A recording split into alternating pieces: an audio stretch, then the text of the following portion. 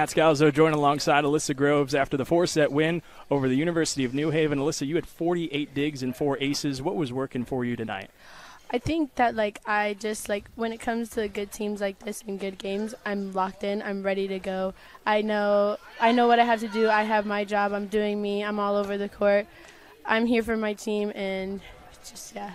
You certainly did yourself. You set a new career high in terms of digs. Yes, that's great. I'm proud of myself for that.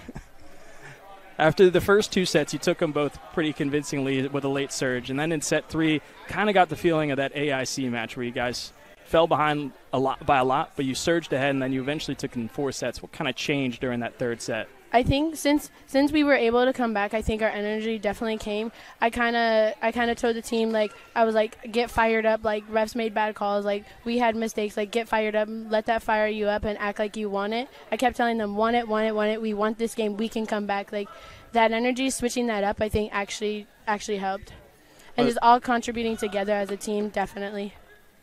Well, you certainly did well as a team. Second all time win against New Haven, first since 2016. Coach Tiff talks about this being your time, one of the mottos of this season being our time. Talk about that and what that this win means to that. This win means a lot to us, and especially like since in the past, like we have we've had losses, and like even with scrimmages with New Haven, so it's like anything can happen, and like you don't know what we're capable of doing.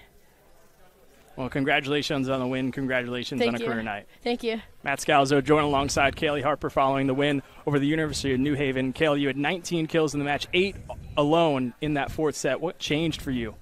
I think it was honestly like my teammates' support and just like finding a way to score through the block because like my teammates behind me, what you guys like can't really hear is they're all like telling me shots and everything. And I also have help on the sidelines, like which helps me like you know, like pick a hand to tool or like just find spots on the court to swing at.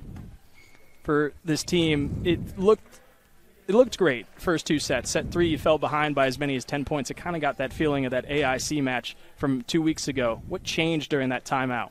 Um, we just like honestly like kind of figured out how to relax and have confidence in the skills that we had.